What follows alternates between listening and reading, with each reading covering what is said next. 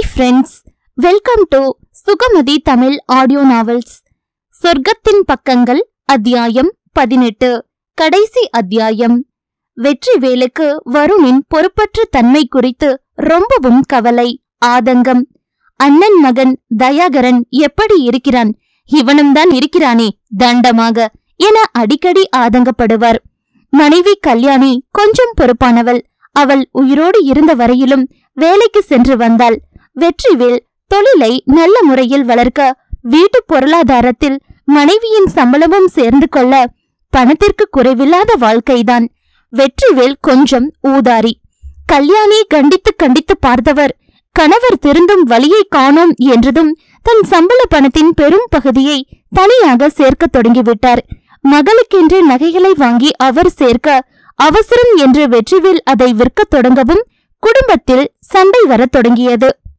கணவரை நம்பினால் வேலைக்கு ஆகாது என்றுதான் தன் ஓரகத்தி குடும்பத்தின் உதவியோடு அரியலூரில் மகளுக்கு நகைகளை சேர்க்கத் தொடங்க அதற்கும் சண்டைதான். ஆனால் கல்யாணி பின்வாங்கவில்லை. இந்த சூழலில்தான் வேலை முடிந்து வரும்போது கல்யாணி விபத்தில் இறந்துவிட வெற்றிவேலுக்கு துணை இழப்பு என்பதை விட வருமான இழப்பு. மகள் வேறு திருமணத்திற்கு நிற்க மகனும் பொறுப்பில்லாமல் இருக்க இவர் விவரமாக மனைவி இறந்த சோகம் தொழில் நஷ்டம் என்று டிராமா செய்து தொழிலை எல்லாம் நல்ல விலைக்கு விற்றுவிட்டு அண்ணன் வீட்டில் ஐக்கியமாகிவிட்டார்.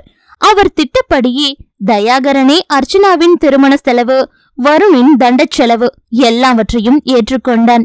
தயாகரனுக்கும் இதெல்லாம் தெரியாமல் இல்லை அர்ச்சனாவுக்காக பொறுத்து போனான்.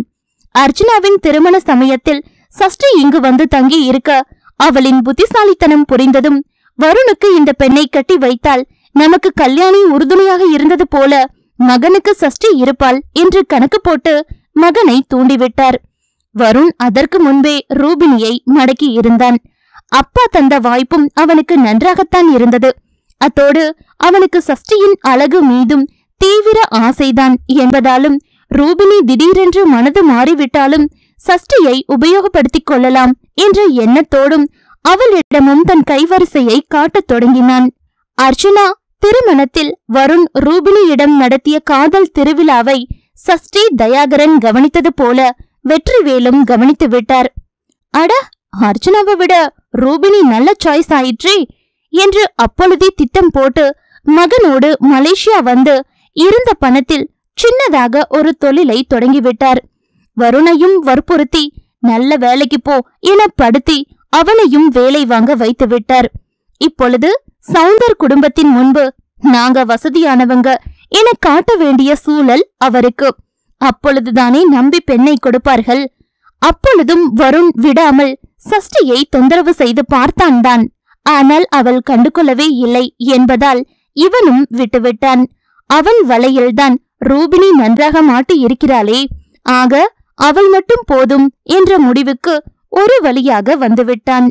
கொஞ்ச காலம் உருப்படியாக வேலை செய்ய முயற்சி செய்தவன் சோம்பல் காரணமாக அந்த வேலையிலிருந்து நின்றுவிட்டு தந்தையோடு சேர்ந்து தொழிலை கவனிக்கிறேன் என வெற்றிவேலை படுத்த தொடங்கிவிட்டான்.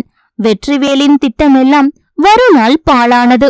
இவனை நம்பி ஏன் தான் மலேசியா வந்தோமோ? என்று புலம்பும் நிலையில்தான் அவர் இருந்தார்.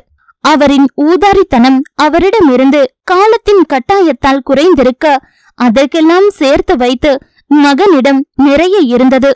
பேருக்குத்தான் மலேசியாவில் தொழில். ஆனால் அந்த வருமானம் அவர்கள் இருவருக்கும் போதாமல் திண்டாடிக் கொண்டிருந்தார்கள். அவர்கள் இப்பொழுது ரூபினி என்ற அடிமையின் வரவைத்தான் ஆவலாக எதிர்பார்த்து காத்திருக்கிறார்கள். அதற்காகத்தான் அரியலூரில் நடத்திய பணக்கார நாடகமும் கூட. ரூபினியின் வாழ்க்கையை காப்பாற்ற கிடைத்த அத்தனை வழிகளையும் அவளே அடைத்து விட்டவள் குடும்பத்தினரின் ஒதுக்கத்தை பெரிதாக நினைக்காமல் தன் வருங்கால வாழ்க்கையை நினைத்து ஆனந்தமாக கனவு கண்டு கொண்டிருந்தாள். எப்போதிருந்து என தெரியவில்லை. ஆனால் சஷ்டிக்கும் தயாகரனை பிடிக்கத் தொடங்கி இருந்தது அது அவளையும் மீறி நடந்த விஷயம். அவள் சங்கடமெல்லாம் தான் தயாகரனுக்கு பொருத்தமானவளா என்பதில்தான் அவளின் சங்கடத்தையும் தயக்கத்தையும் போக்கி அவளிடம் பேச வேண்டிய விதத்தில் பேசி அனைவருமாக சேர்ந்து அவளை திருமணத்திற்கு சம்மதிக்க வைத்திருந்தன. இதோ இப்பொழுது தயாகரனின் மனைவியாக அவன் கட்டிய தாலியை சுமந்து கொண்டு அவளின் வாழ்க்கையில் சொர்க்கத்தை பரிசளித்த வீட்டில் மருமகள் என்னும் உரிமையோடு சஷ்டி வளைய வரத் தொடங்கி இரண்டு வாரங்கள் ஆகியிருந்தது. இன்னமும் அவளால் இதை நம்ப முடியவில்லை. என்னதான் இன்னும் தயாகரனோடு மனமொத்து வாழத் தொடங்கவில்லை என்று போதும் அவளுள் ஒருவித நிறைவு நிம்மதி ஆசுவாசம். முதல் திருமணம் அவளுக்கு காதலை கற்றுத்தரவில்லை. அது திருமணம் என்ற பற்றுதலை கூட உண்டாக்கவில்லை. உண்மையில் காதலையும் வாழ்க்கையையும் கற்று தந்து கொண்டிருப்பது இப்போதைய வாழ்க்கை மட்டும்தான். மன நிறைவில் அவள் முகம் நாளுக்கு நாள் பொலிவாகிக் கொண்டே வந்தது. என்னதான் தயாகரன் அவள் சம்மதமின்றி அருகில் கூட வருவதில்லை என்ற போதும் அவனை காக்க வைக்கவும் அவளுக்கு குற்ற உணர்வாக இருக்கும். ஆனால் வாழ்க்கையை தொடங்க அவளால் சம்மதிக்கவும் முடியவில்லை. அன்று இரவு அவனிடம் உங்களை ரொம்ப கஷ்டப்படுத்துறேன் இல்ல? என்றால் கவலையோடு. இந்த நிமிஷம் நீ என் கூட இருக்கிறதே எனக்கு சந்தோஷம். வேற எதுவும் எனக்கு இப்ப முக்கியம் இல்ல. கண்டதையும் யோசிச்சு மனசு குழப்பிக்காத என்றான் அவளது வாயை மூடியபடி. என்ன நினைத்தாலோ? சட்டென்று அவனின் மடியில் தலை வைத்து படுத்துக்கொண்டாள் தயாகரன் விழி விரிய ஆச்சரியமாக அவளை பார்த்தான். முத்தமிடுவதாகட்டும் அவளை அணைத்தபடி தூங்குவதாகட்டும் அவளின் மடியில் படுத்துக் கொள்வதாகட்டும் எதுவாக இருந்தாலும் அவன் மட்டும்தான் இதுவரை செய்வான். சஷ்டி எதையுமே செய்ததில்லை. இன்று அவளாக வந்து அவன் மடியில் படுத்துக் கொள்ளவும் அவனுக்கு மிகவும் ஆச்சரியமாகி போய்விட்டது. அவளின் தலையை மெல்ல கோதிவிட்டான் உங்களுக்கு என்ன பத்தி தெரியுமா? சஷ்டி படுத்தபடியே அவன் முகம் பார்த்து தயக்கமாக கேட்டாள். புரியல எதை பத்தி கேக்குற? என் பிறந்த வீடு பத்தி என் முன் வாழ்க்கைய பத்தி. தெரிஞ்சுதான் ஆகணும்னு எந்த அவசியமும் இல்ல சஷ்டி என்றான் இதமாக. ஒரு பெருமூச்சை விட்டவள். ஆனா எனக்கு சொல்லாம இருக்கிறது ரொம்ப குற்ற உணர்வா இருக்கே என்றால் குரல் கரகரக்க. அதுக்கு எந்த அவசியமும் இல்ல சஷ்டி. நீ வீணா குழம்பிக்கிற என்று ஆறுதலாக சொன்னான்.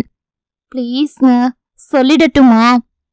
சஷ்டி உன் வலியையும் வேதனையையும் அது அதிகப்படுத்தும்னா எனக்கு எதுவும் தெரிஞ்சுக்கணும்னு தேவையில்ல. உன் மனபாரம் குறையும்னு நினைச்சா மட்டும் நீ சொல்லலாம் என்றான் அன்போடு. அப்படின்னா சொல்லிடுற என்றவள் ஒரு பெருமூச்சை விட்டுவிட்டு அவளை பற்றி சொல்லத் தொடங்கினாள். எங்க அம்மா அப்பாவுக்கு நானும் அண்ணனும் மட்டும்தான். அவங்கள பொறுத்தவரை பெண் குழந்தை இருந்தாலே செலவுதான்னு நினைப்பாங்க. எனக்குன்னு எதுவும் பெருசா செய்ய மாட்டாங்க. நல்ல ஸ்கூல்ல இருந்து எல்லாமே அண்ணனுக்கு மட்டும்தான் கிடைக்கும். எங்க அப்பாவோட அம்மாவுக்கு இவங்க செய்யறதெல்லாம் சுத்தமா பிடிக்காது. அவங்க அப்பப்பதான் எங்க வீட்டுக்கு வருவாங்கனாலும் எல்லாத்தையும் சரியா கண்காணிப்பாங்க. பெண் குழந்தைங்க லக்ஷ்மி கடாட்சம். அவளை ஒதுக்காதீங்கன்னு சொல்லி சொல்லி பாப்பாங்க ஆனா எங்க வீட்ல எதுவும் மாறினதில்லை. எனக்கும் எல்லாம் பழகி போச்சு. லீவு வந்தாலே பாட்டிக்கிட்ட தான் போய்ப்பேன். அங்கதான் எனக்கு நிம்மதியும் சந்தோஷமும். நான் காலேஜ் முடிச்ச சமயத்துல பாட்டியும் தவறி போயிட்டாங்க. வாழ்க்கையில எந்த பிடிப்பும் இல்லாத நேரம் எனக்கு. ரொம்ப மன வருத்தத்துல இருந்தேன். அப்பதான் கௌதம் என்னை எங்கேயோ பாத்திருப்பாரு போல. அவங்க வீட்டு பெரியவங்களோட வந்து என்ன பொண்ணு பார்க்க வந்தாங்க. ரொம்ப வசதியானவங்க. கல்யாணத்துக்கும் சீரா எதுவுமே வேணாம்னு சொல்லிட்டாங்க. எனக்கு என்னவோ அந்த சம்பந்தமே பிடிக்கல. முதல்ல வசதியான வீட்டு வாழ்க்கை முறை எனக்கு ஒத்து வருமான பயம். அத்தோட பாட்டியை இழந்த மனநிலையில இருந்தனா அப்ப கல்யாணத்தை பத்தி யோசிக்கிற நிலையிலயும் இல்ல. ஆனா என்னால நிறைய செலவு வந்துடுமோன்னு பயந்துட்டு இருந்த எங்க அம்மாவுக்கு இந்த சம்மந்தத்தை விட மனசில்ல. என்னோட சம்மதத்தை கேட்கவும் அவங்களுக்கு நேரம் இல்ல.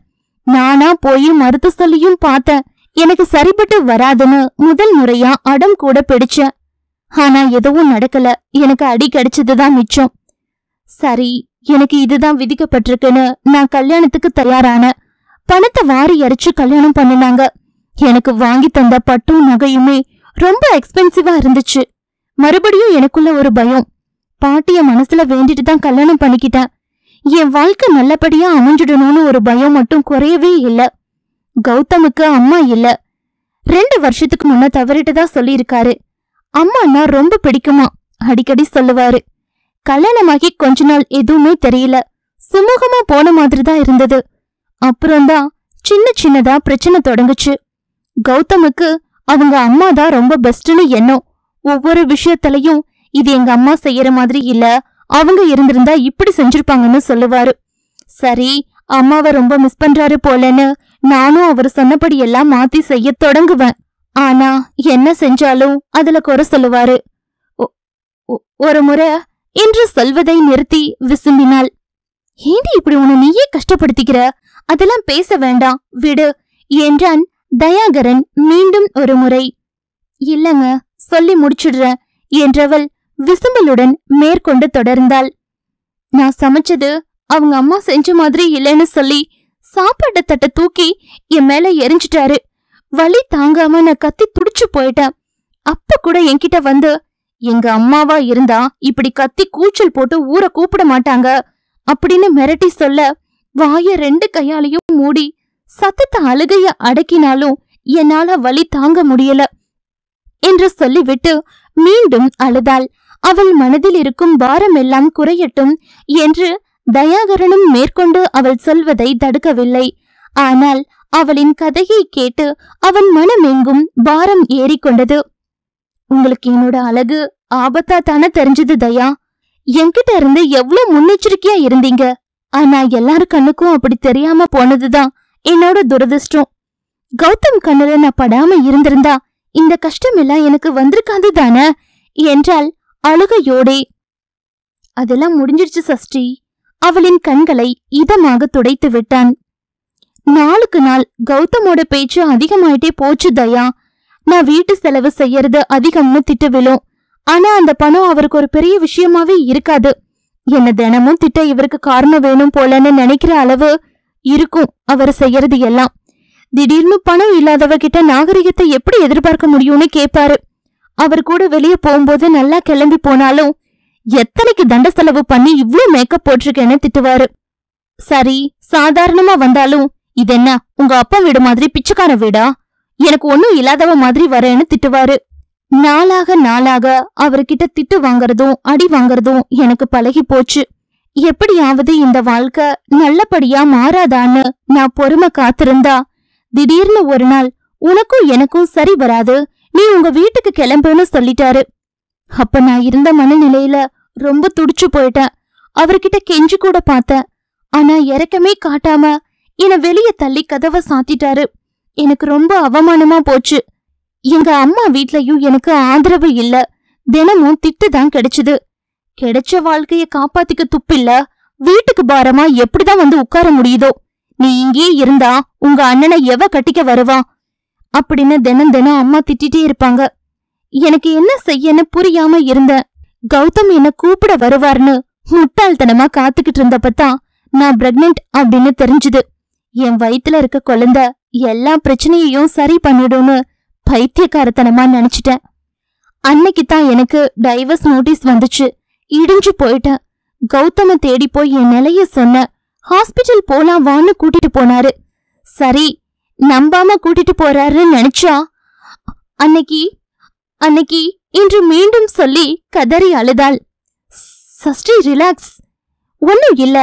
தயாகரன் அவள் முதுகை நீவி விட்டு ஆறுதல் படுத்தினான். அன்னைக்கு என் பிள்ளைய கழிச்சிட்டாங்க தயா.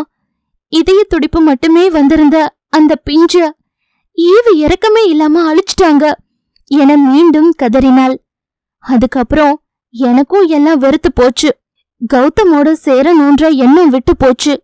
வீட்ல அம்மா என்ன பேச்சால கொன்னாங்க. சாகலான்னு கூட தோணிடுச்சு. அப்ப அந்த கௌதம் ரொம்ப தெனாவெட்டா வந்து கல்யாண பத்திரிக்கைய நீட்ட புந்தா இவ்வளவும் பண்ணின இவனே வாழும்போது நான் ஏன் சாகணும்னு என் முடிவை மாத்திட்டேன் அப்புறம் அர்ச்சனா உதவியில அரியலூர் வந்தேன் அது வரைக்கும் நரக வேதனையால நிறைஞ்சு போயிருந்த என்னோட வாழ்க்கையின் பக்கமெல்லாம் சொர்க்கத்தோட பக்கமா மாற தொடங்கிருச்சு. இப்ப நான் எவ்வளவு சந்தோஷமா இருக்கேன்னு தெரியுமா? விருந்தாளியா இந்த வீட்ல இருந்தப்பவே நான் அத்தனை நிம்மதியா சந்தோஷமா இருந்தேன் தயா. இப்ப நான் இந்த வீட்டு மனுஷி. இப்ப என் சந்தோஷம் எவ்வளவு பொங்கி இருக்கு தெரியுமா? இதெல்லாம் எனக்கு கிடைச்சது உங்களால மட்டும்தான். தேங்க்ஸ் தேங்க்ஸ் என்று உணர்ச்சி பொங்க சொன்னவள் தயாகரனை அவன் மடியில் படுத்த வாக்கிலேயே இடையோடு சேர்த்து அணைத்து லவ் யூ சோ மச் என்றாள். என்று சொல்ல அத்தனை நேரமும் மனபாரத்தோடு அவள் சொல்வதை கேட்டுக்கொண்டிருந்தவன் அவள் திடீரென்று புதுமுகம் காட்டவும் வியந்து போனான். அவளுக்கு இணையாக அவனும் கட்டிலில் சரிந்து படுத்து அவளை அள்ளி அணைத்து முத்தத்தால் குளிப்பாட்டியபடியே லவ் யூடி பொண்டாட்டி! என்றான் காதல் பொங்க. அவர்கள் வாழ்வில் காதலைப் போலவே எல்லா வளமும் நலமும் பொங்கிப் பெருக நாமும் வாழ்த்தி விடை பெறுவோம் நன்றி.